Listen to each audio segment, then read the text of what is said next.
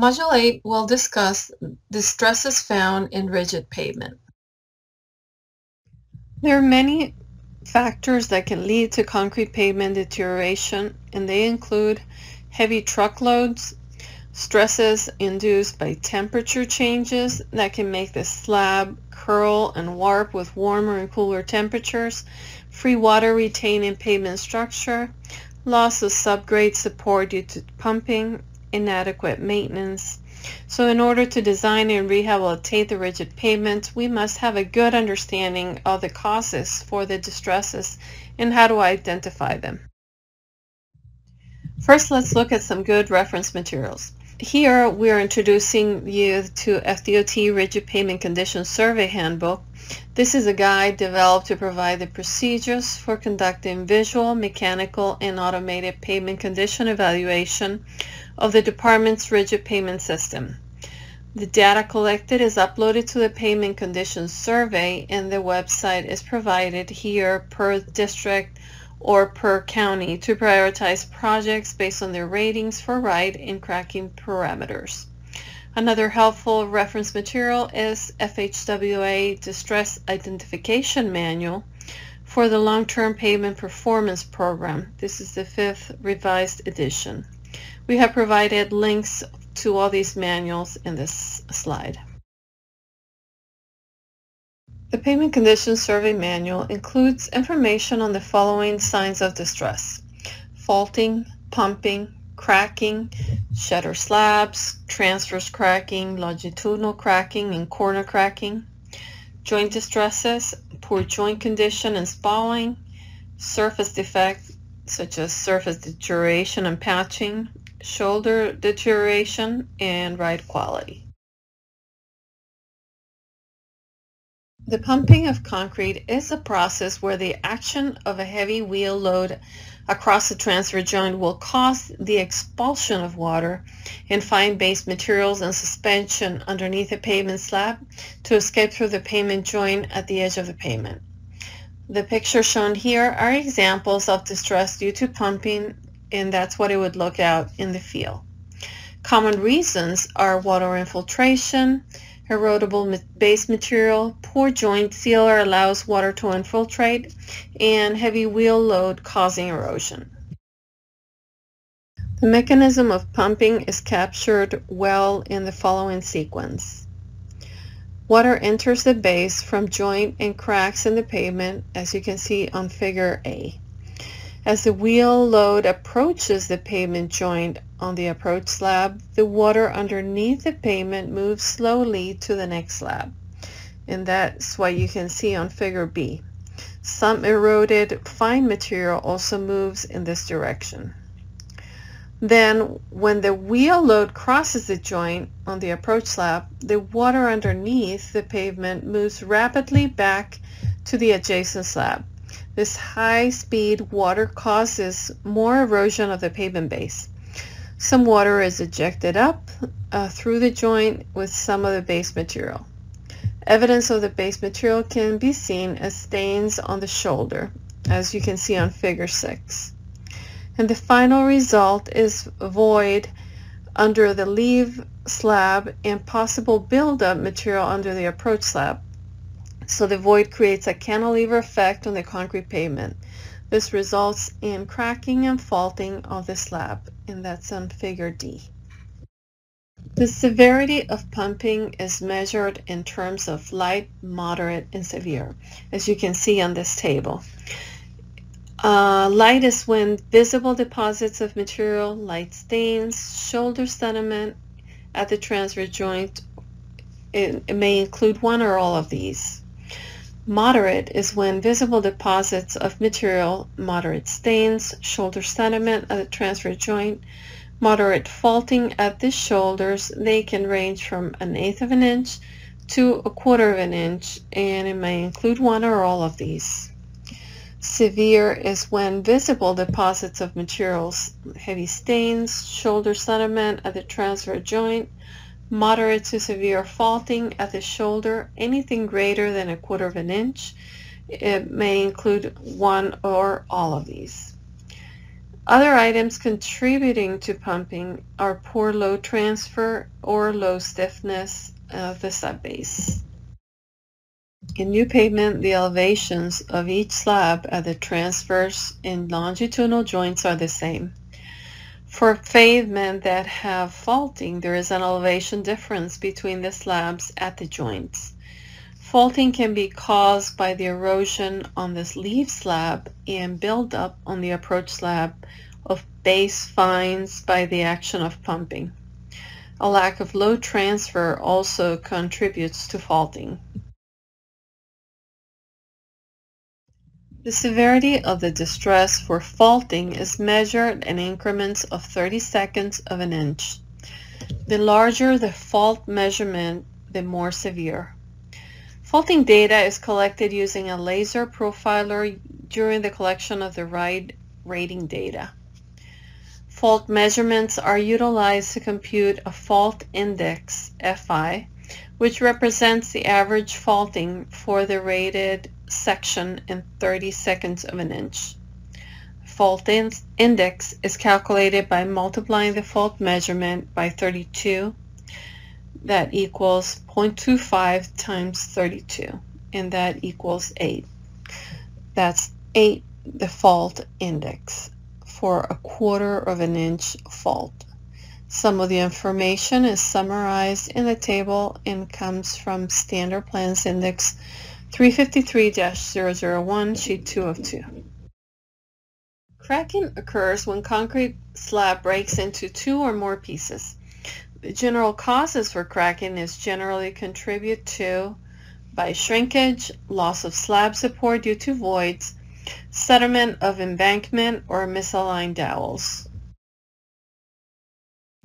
The types of crackings are intersecting cracks or shatter slabs, it's when the slab is broken into three or more cells. Causes are continuing deterioration of one or more or a combination of transverse, longitudinal, and corner cracks. Transverse cracking occurs at right angles to the center line. The causes are improper joint spacing, installation depth or dimensions, improper alignment of load transfer assemblies, thermal gradient warping and movement stresses, stiff unbonded subbase, shrinkage due to rapid moisture loss during construction, heavy truck loading, and a combination on any of these. This is a graphic on how to measure transverse cracking and determine the width of the spalls per FHWA Distress Identification Manual. Make sure to record the number and length of each transverse crack and identify a severity level. Measure the width of that spall um, as you can see on detail AB um, and also on detail CD. Uh, use standard plans index 353-001 to determine the severity of the cracks Take good notes on the assessment of each distress and the level of severity to determine the correct repair method, also using the guidelines per the standard plans. A summary of the crack severity is shown on slide 15 and a more detailed information on repair methods will be covered under Module 9 for concrete rehabilitation. Longitudinal cracking. Some of the causes are sewing the joints too late. Standard specs 350-13.3.3 provides guidance to saw cut the pavement as soon as possible, but in no case no longer than 12 hours after placing the concrete. Also, insufficient cut depth.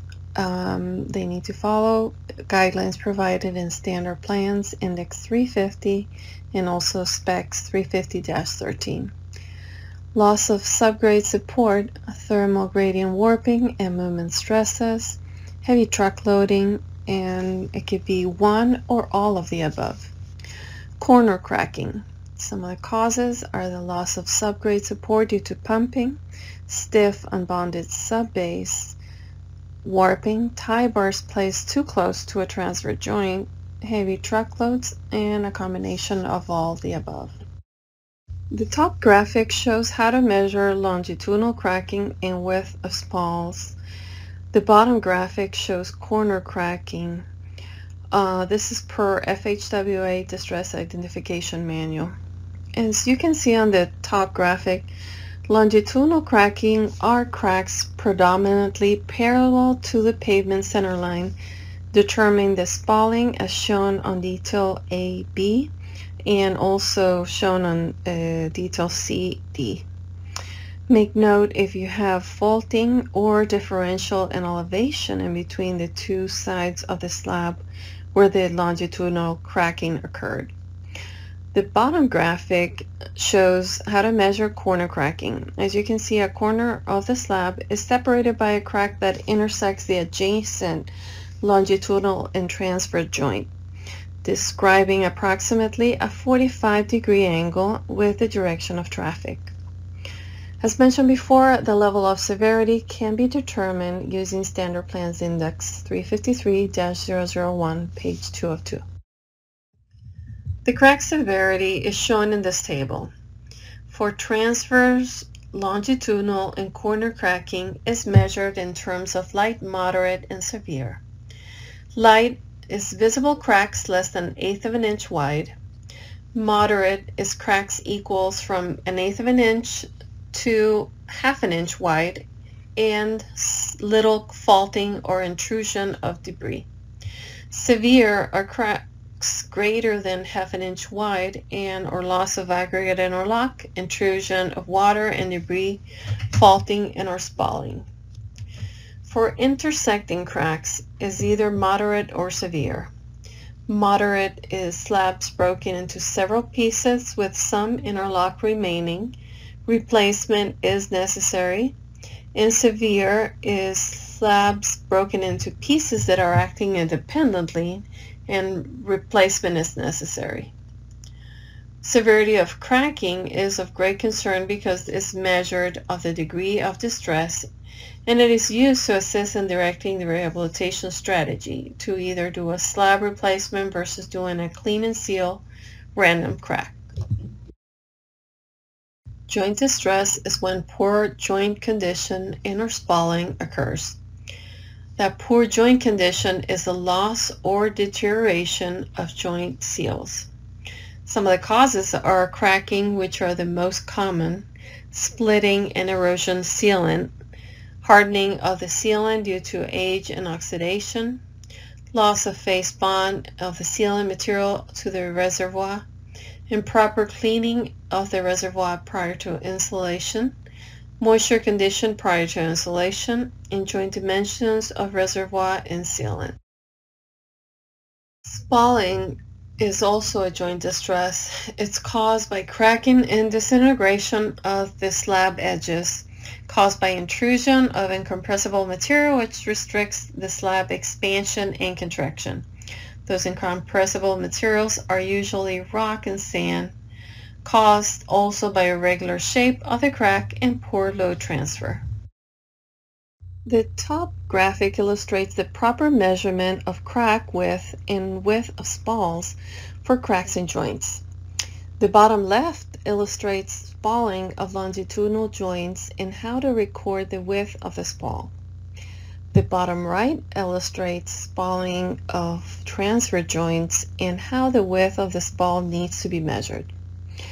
More information on the level of severity shows how to measure a spall crack, spall joint, and determine the width of spalls can be found in Standard Plans Index 353-001, page 2 of 2. That will provide guidance on the level of severity to determine the repair method. If you would like to learn more on distress identification, I encourage you to review the FHWA Distress Identification Manual on the link uh, to download the manual was provided on slide 3. FHWA also has a class that covers all aspects of distress uh, manual and you can learn more by visiting their website. This table summarizes the severity of joint distress. The severity for poor joint condition is measured in terms of partially sealed or not sealed. uh, where partially sealed it's a joint seal that has deteriorated to the extent that adhesion or cohesion has failed and water is infiltrating into the joint. Not sealed is joint seal is either non-existent or has deteriorated to the extent that both water and incompressible material are infiltrating the joint. The severity of spalling is measured in terms of light, moderate, and severe. Light can be spalled area less than 1.5 inches wide. Moderate is spalled area that is one and a half to three inches wide, and severe is any spalled area greater than three inches wide. Surface defect is when surface deterioration and or patching occurs. So let's see surface deterioration is the disintegration and loss of the concrete wearing surface. Some of the causes are poor construction materials such as poor aggregate, cement, additives, mm-hmm. mixing operations, etc. Poor construction methods such as poor placement, curing, finishing, cutting. Traffic such as tire, rims, chains, and metals, and chemical reactants. For patching, these are corrections made to pavement defects, causes, maintenance forces correct or improve a section of pavement that has deteriorated and may provide a solution that can perform as well as the existing material. The performance of the patching material depends on the correct application and materials, either concrete, asphalt, or other. The workmanship, preparation, finishing, curing, and the traffic conditions. This table summarizes the severity of surface defects. The severity of surface deterioration is measured in terms of moderate or severe. Moderate is some coarse aggregate that has been exposed and the wearing surface has disintegrated up to a depth of half an inch. Severe, it's most, most coarse aggregate that has been exposed and some has been removed. Wearing surface has disintegrated to a depth of a half an inch or greater. The severity of patching is measured in terms of fair and poor. Fair being the patch is providing marginal performance and is expected to serve its function for a few years. Poor is the patch has deteriorated to the extent that it no longer serves its function and should be replaced as soon as possible. Shoulder distress is one, one or all the following occurs. For concrete shoulders, you can have pumping of water under the shoulder, faulting due to loss of slab support, cracking due to off-tracking of heavy trucks, joint distress, and surface effects. For asphalt shoulders, you can have irregular movement of shoulder material due to pumping of water under the shoulder, a drop-off uh, in the elevation between the roadway and the shoulder due to off-tracking of heavy trucks, and time, environmental deterioration. For grass shoulder, erosion of the shoulder material due to pumping and runoff and off-tracking of heavy trucks. The severity is not measured in the field but noted in the survey. Poor ride quality is caused by changes in the longitudinal profile of the road. Some of the causes are faulting, cracking, surface effects, repair work such as patching, slab replacement and spall repairs. Lack of control on the original construction may include one of these or all of these. Ride quality is reported on a scale from 1 to 10, with 10 being the best. Ride profilers are used by the State Materials Office to measure the ride quality. As you can see the picture of the vehicle on this slide in the International Roughness Index, the IRI, are the values are 0 for worst and 10 for the best. This concludes Module 8, Rigid Pavement Distresses. You're now ready to proceed to Module 9, Concrete Pavement Rehabilitation.